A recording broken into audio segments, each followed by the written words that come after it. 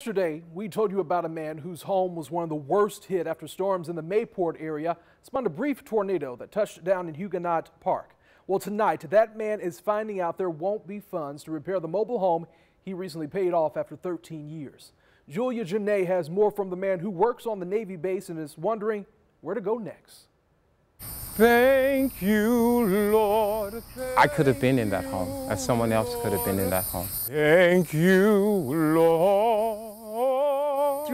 Through and faith, that's how William Adams says he's able to deal with what happened to his home. Maya Angelou would say one time, worry never fed the children, worry never paid the bills, worry never put new clothes on you.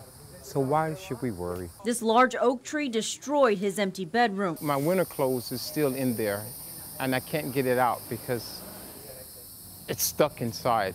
Now he expects the city will condemn the entire building, and without homeowners insurance, he's facing not having a home at all.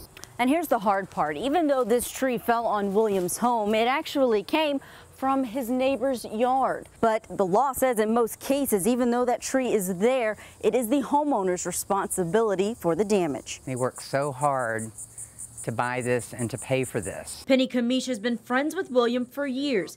There are so many people who have been touched by him, them singing at their wedding, them singing at a loved one's funeral. And those are big life moments. It's just a way for people who are good and who have good hearts to be able to turn it around and somehow repay them for their good works. She's hoping help will come for a man who neighbors say sends melodic notes through the complex and keeps a smile no matter what. What a singer. Julia Janae with that story tonight.